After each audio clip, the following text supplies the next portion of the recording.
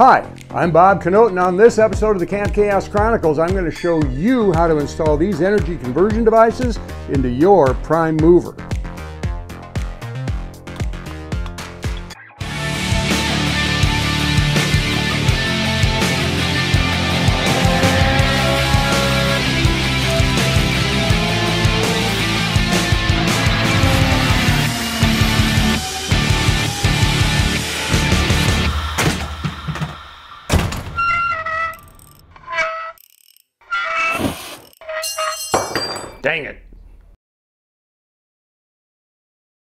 Now, assembling the connecting rods to the pistons is not just a simple matter of sticking a piston on a rod, putting a, putting a piston pin in, and then just sliding them in. There's some prep work that needs to be done. First thing you would have done to prepare your pistons is number one, measure them to make sure they're right. But, but these are brand new uh, aftermarket pistons, and uh, they're always right although, you know, I check.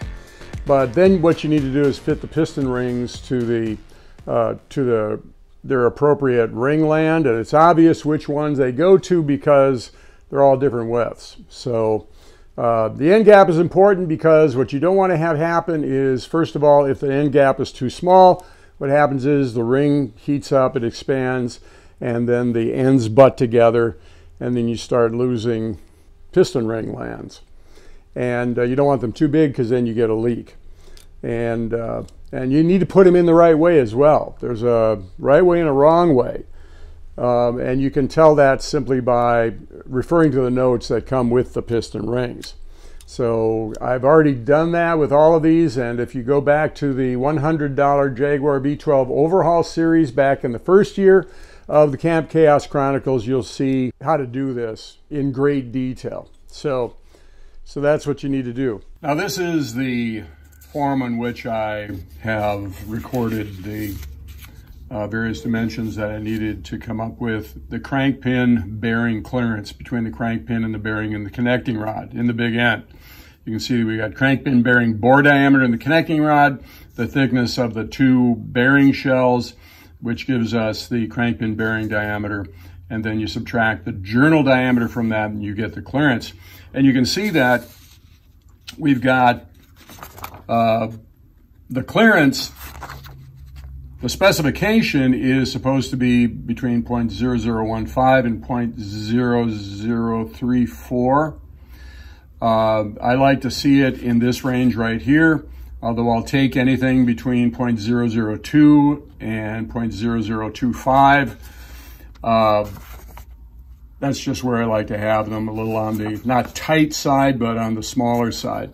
And you can see the clearances are 0.003, 0.0028, and you can see that that kind of carries through. So these are all actually working, and you can see one right here that I got 0.003, I think another one down here, and I think there was another one on the other side. These would be acceptable under normal circumstances, but you know, we got some of them that are only four ten thousandths of an inch away from being too big. So what I chose to do is to take dry film lubricant and coat the bearings. And this film thickness should be about five, ten thousandths of an inch or a half a thousandth.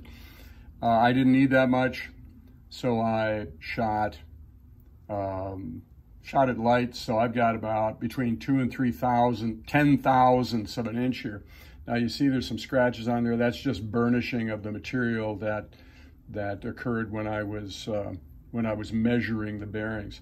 And what I came up with was a thickness generally that was between two and three ten thousandths, and uh, that was exactly what I needed to do this. Now both of these crankshafts were almost exactly the same diameter in terms of journals. So you can see that I am clustered right around two thousandths of an inch where, which is where I really want to be. Now, this is not the reason why you put dry film lubricant on bearings.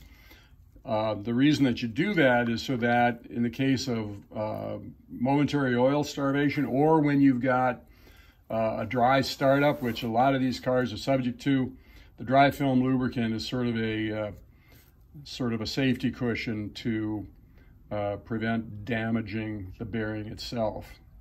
And this stuff is uh, what I use on my track car bearings and, and pistons. Uh, when I've taken it apart in the past, the, while the film is worn off the pistons, because it gets some pretty hard use, it's just a matter of renewing the film and putting the pistons back in again, to date at any rate.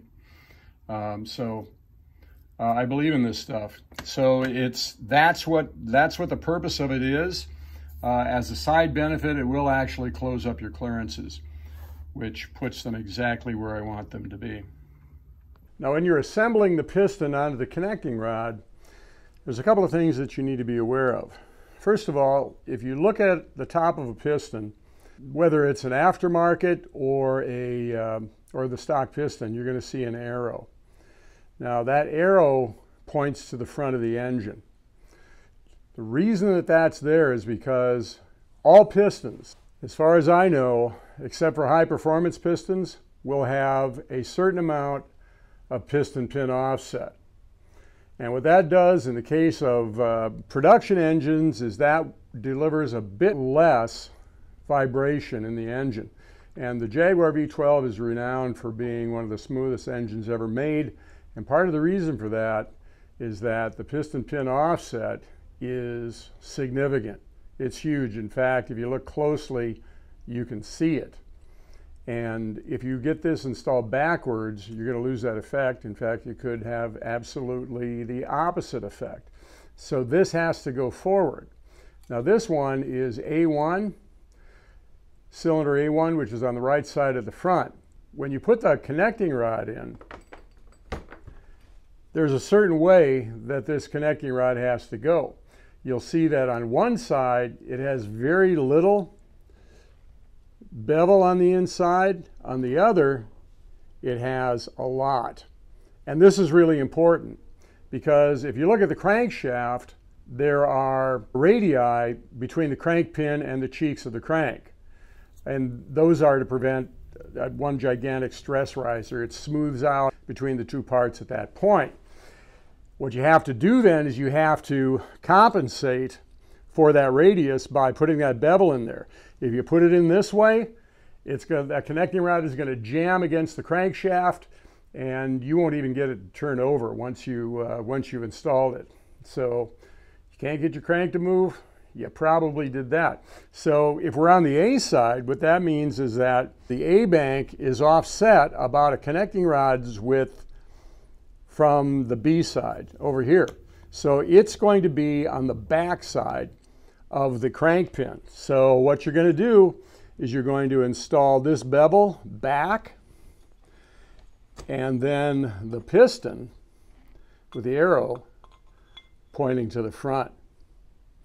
The B side would have the opposite. The bevel would be forward because the B bank is a half is a connecting rod width further forward than the A side. So the bevel would be there, the arrow would be pointing forward, and it would go together like that. Really important. Got to do it. Okay, so we're going to begin the assembly of the connecting rods onto the pistons. You can see that we have a1's connecting rod, and then we've got all the pistons and their pins and rings lined up there ready to go. Over here we have the medieval torture device known as the Spirolox, which are the piston pin retainers. And we're going to show you how to do this. Now, I don't know if a lot of this is going to be real clear to you, but we'll give it a shot. First of all, we got our trusty can of assembly lube here. And the first thing we do is make sure that we've got piston A1, connecting rod A1, and piston pin A1. And first thing we do is we lube up the piston pin bores in the piston. Make sure you got a good coating of that all the way around. And then take the residual and do the pin. Oh, by the way, something I should mention here. This particular pin, I think, is like a small block Chevy pin, which they use uh, with these uh, with these pistons, and it just happens to be one thousandth of an inch bigger than the pin that goes in the stock bore, which is not really a problem because it's a fairly inexpensive thing to have done uh, to hone these out to the proper size for that pin. And really, you should be replacing this, these bushings anyway, which uh, basically it renews the bushing. Now remember we said earlier that we've got an arrow on the piston that has to go to the front because of piston pin offset. We also noted the fact that the bevel on the connecting rod, it's really important. The A side, being that it's the A bank is a connecting rod width further back, the bevel has to go backward in the opposite direction than the arrow is. So we're going to take our piston pin. Oops, we got to lube our pin up.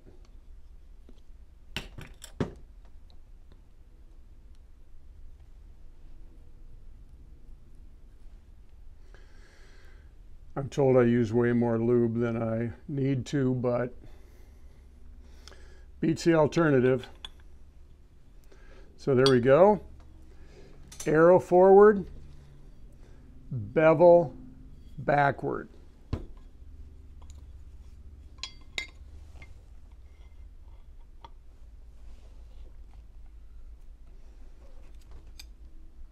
And there we go. Easy peasy. Well, that is in fact the easy part of the job. What we got to do now is install the retainers. Now these are not like the standard retainers that come with the stock pistons. These are called Spirolox and they're essentially a flat coil spring that is that has no spacing to it. So what I'm going to do is I'm going to take that end and fit it into the groove that uh, is cut in the inside of the pin bore. And that's to get it started. And it works out best if I do it this way with the piston toward me. Now my technique changes from day to day depending on which finger is least painful at this point because this does actually generate a fair degree of pain. And this is not an easy process to do ordinarily, and it's hard to do it on camera so that you can see what's going on. So you get it started, and then I take a flat screwdriver like this one and work my way around.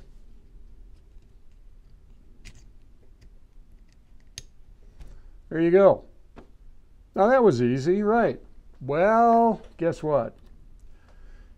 They're doubled. You got to put another one in.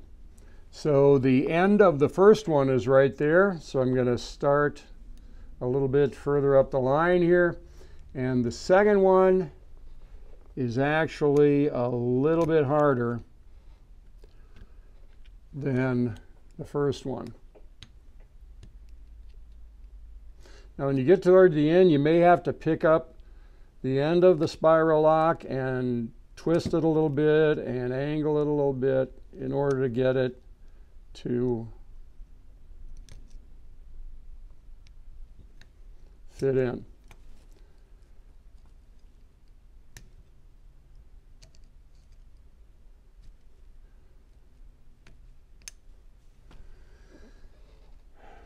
There you go. And then just make sure that it's seated all the way around, which it is. And repeat 23 times.